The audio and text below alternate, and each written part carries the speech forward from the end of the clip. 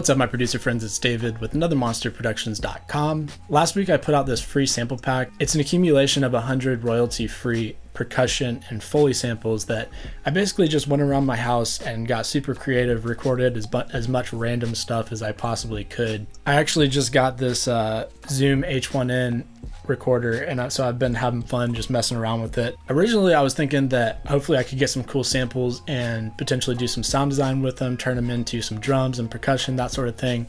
Uh, but the samples turned out so good, like raw, that I just decided to put a hundred of my favorite ones into a pack and give it away for everybody. So check the description of this video. There'll be a link in the description if you guys want to download that pack. Anyway, I thought it would be really fun to do a video where I essentially use only samples from the pack that I'm giving out and make some sort of beat out of it. So I thought lo-fi hip hop would be really nice. And so that's what I did. I hope you liked the video. I hope you learned maybe some sound design tricks or at least get inspired to be creative. I'm gonna go ahead and walk you through the whole project. So this may be kind of a long video, but let's get straight into it.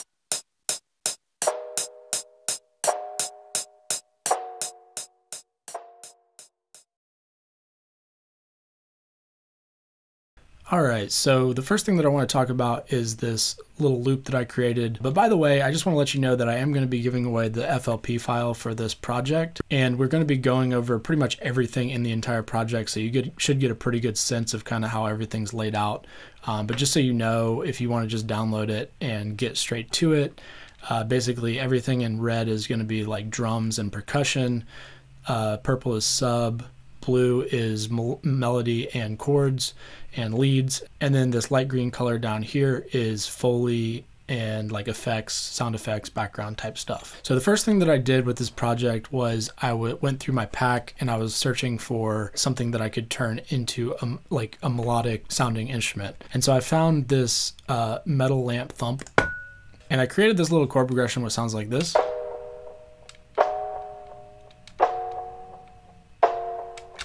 So then I added this little lead uh, sort of thing on top of it.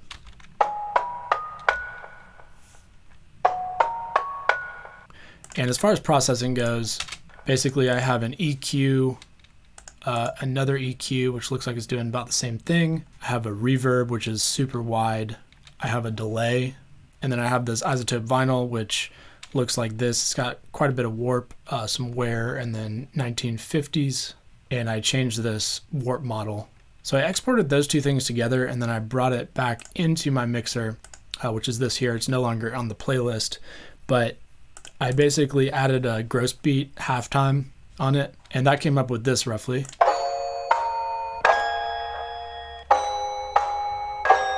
So I also added this other bell on top, which was this alarm clock here. So I loaded that in and that sounds like this.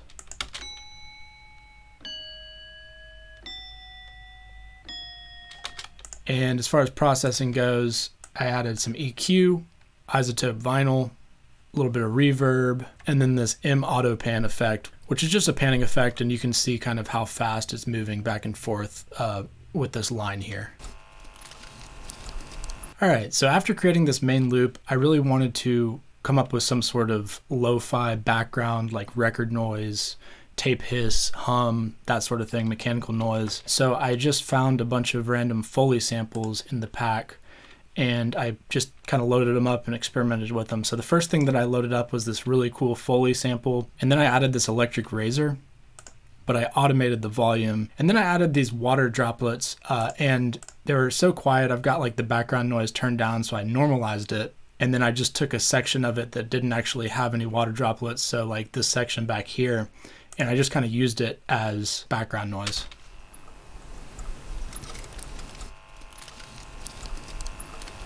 And then I automated the volume of it to kind of drop out and then come back in. And then I do have the actual water droplets at that point. Then I added this paper bag too, just to give it a little bit more texture. So all of that together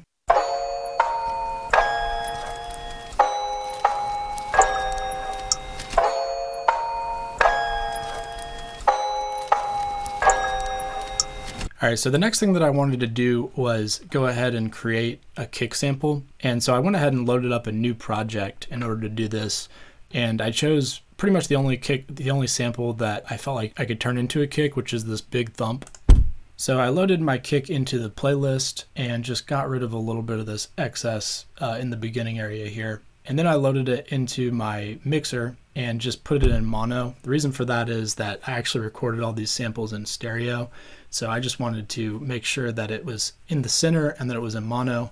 Then I added an EQ onto it and I wanted to get rid of some of these uh, lower frequencies. So like super low frequencies. So I did a cut at around 25 hertz and then I added another EQ onto it and I just sort of started playing around with it and taking out some of the higher information, some of the higher frequencies. And, um, you know, at this point, I'm just kind of experimenting, seeing what I like. Uh, but I ended up deciding that I kind of just wanted to go with a really thumpy, like, sort of low frequency bass heavy kick and not really worry too much about the high information. I actually ended up layering the same kick with some more higher information in it way later on in the track because uh, I felt like the kick wasn't punching through quite as much as I would like it to. At this stage, that's pretty much all I did, and then I added a Soundgoodizer on it as well, and just brought this down a little bit. Uh, basically, the Soundgoodizer is just adding a little bit of saturation and multiband compression to uh, give it a little bit more punch. So then I added some fruity fast distortion on it as well, just to kind of bring back a little bit more of the higher information, just make it hit a little bit harder uh, and just kind of punch through a little bit more. So then I added an automation clip uh, back on the playlist. And basically what I'm doing here is just shaping the way that the kick actually sounds.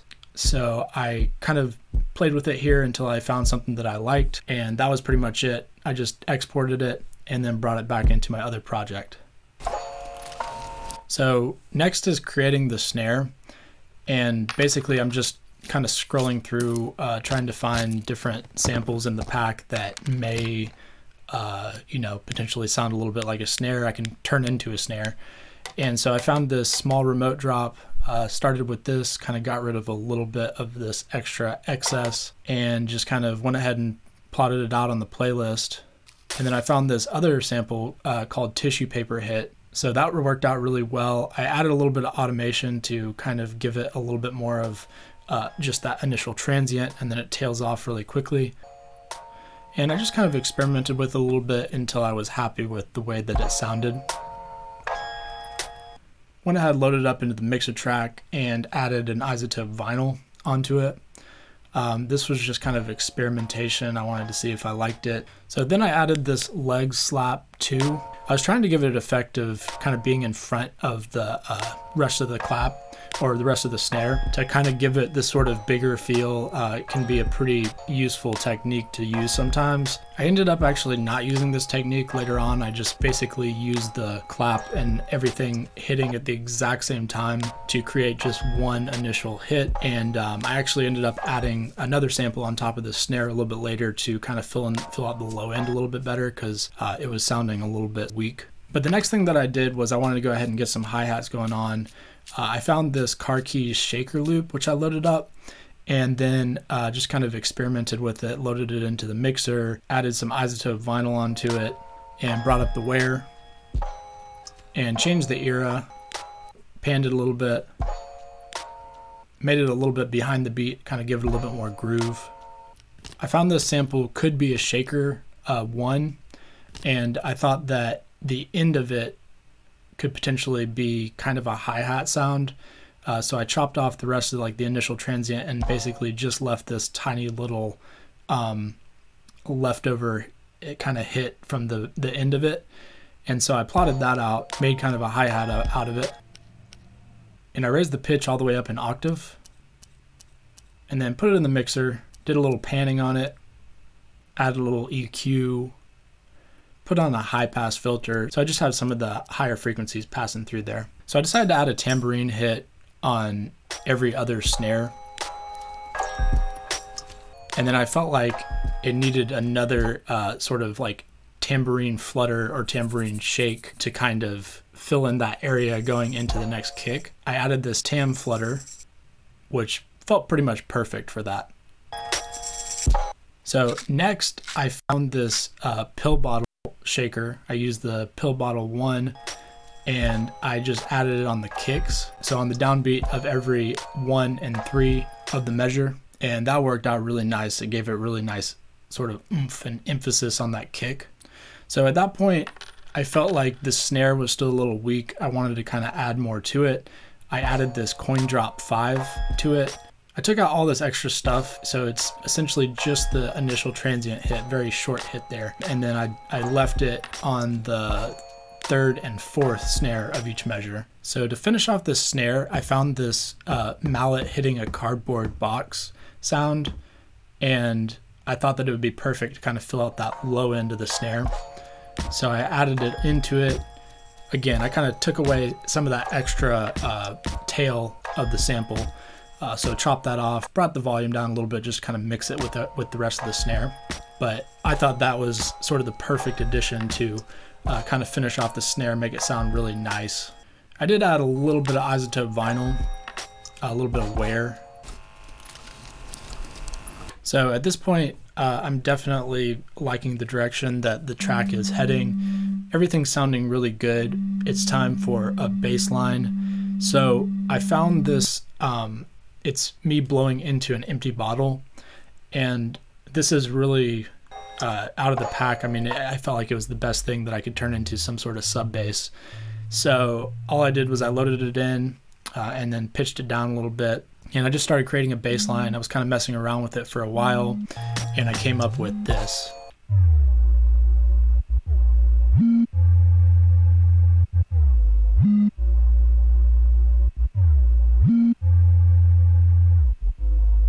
So I added a little bit of EQ onto this and just sort of boosted these frequencies down here. I did this right around 99 hertz, uh, about 2.5 dBs, and then this area right here around 63 hertz, uh, about 2.6 dBs. And then I added another EQ and again, I'm just getting rid of some of the super lows. So it looks like I've got a high pass filter going at 27 hertz. So I actually added a little bit of fruity fast distortion. Looks like this. And then I also added an iZotope vinyl, uh, which looks like this. So at this point, everything's coming together really nicely, but I feel like it's missing some sort of melodic element. And I know that I have some more melodic elements within the pack, so I figured I'd experiment with that and see what I could come up with. So I found this metal lamp hit, and with a little bit of processing, I really liked the sound of this a lot. So I came up with this nice pattern which fit really nicely with the chords and just gave it the perfect vibe for what we're going for here.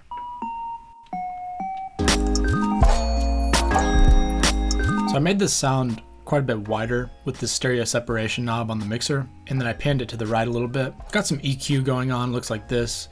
Also got some iZotope vinyl which looks like this, quite a bit of warp depth and then also some wear and 1970. And then I've got a huge reverb going on here. The size is all the way up. And then I've got another iZotope vinyl, which is automated in the intro before the drums come in to give it a more worn out feel so that when it actually kicks in, it sounds bigger. I created this melody out of the same sound uh, that we just used for these chords up here. It's the metal lamp hit, and I basically created this pattern here.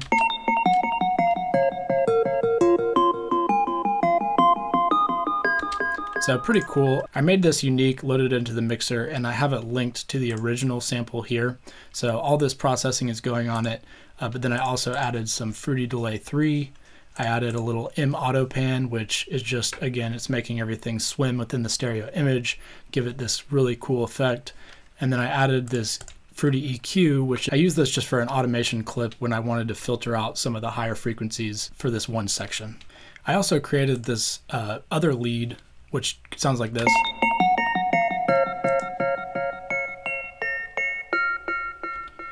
And that was just another little thing to kind of add on to this very last section here. Again, it's the same instrument as the previous lead uh, with the same processing and everything. So I did do some side chaining on the sub, also the main loop, and the chords. You can kind of see what's going on here. I also did, I think, the hi-hats as well, and it's basically ducking out every time the main kick hits. You can kind of see what's going on there. All this is is volume automation. As I mentioned earlier, I did layer this original kick sample with another kick. It's this kick right here. And as far as processing goes, all I did was add an EQ, which looks like this. And from there on out, I mean, I really just kind of spent a couple hours just messing around, probably adding way more stuff than I needed to or should have. but you know, I was having fun with it and I wanted to use up kind of some of these extra Foley samples and stuff. So I added a lot of extra Foley. Uh, I did add this crash, which again, it was the tissue paper, the same sample that I used for the snare. And I just made it unique and loaded it into the mixer and added a bunch of reverb. So that looks like this, this reverb here, also a little EQ, and then Fruity Delay 3. It looks like I muted the Fruity Delay 3. So I exported that and created a reverse crash out of it with the reverb tail. So that sounds like that. And then I also put the same reverse crashes here. Uh, kind of gives it like a swoop up effect into the snare. Another thing that I did was I actually exported the snare that I created. Uh, I put it. I ended up putting all the samples basically so that they hit at the exact same time on the beat, and then I exported that and created this snare sample here, which I then layered with this other snare sample, which was the original tissue paper hit that I used. And then I added a little bit of reverb on it and turned it down a bit. And then I added this mallet on top so that was the final snare sound that I created. Now, as I mentioned, I am going to be giving away the FLP file, so I don't want to spend any more time going through all the little tiny things that I did. So if you guys want to get that, check the description. I'll be giving that away down there. I do want to mention that uh, the way that I exported this final mixdown uh, or final product was with these three things muted. This was part of the original snare that I had created and that I used to export into this snare. So, um, other than that, I mean, everything should be pretty well organized and easy to kind of follow along with. So I hope you guys liked the video. Hope you enjoy messing around with the FLP file. Let me know in the comments down below if you like this type of video because I do like making these types of videos and I think they can be really helpful. It's kind of a little bit different than most of the tutorials that I do on here. But anyway, if you like the video, be sure to hit the like button. If you're new to the channel, subscribe. Don't forget to hit the bell notification. That'll let you know anytime I release videos in the future. And I will see you guys in the next video.